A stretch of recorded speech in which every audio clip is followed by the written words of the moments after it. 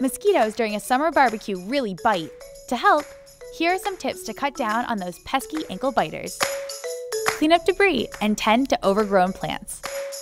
Make sure there isn't any standing water. They don't need very much to breed. Advise your guests to wear loose fitting, white, or light colored clothes as it deters mosquitoes. Lastly, avoid wearing cologne or perfumes. They can attract mosquitoes and other pests, like bees. Keep in mind, no matter how immaculate your yard is, mosquito breeding grounds can be anywhere. These DIY tips are great ways to help with mosquitoes, but if you need more help, contact a pest professional as we offer more options to get rid of these pests. Catseye, your number one service in pest control.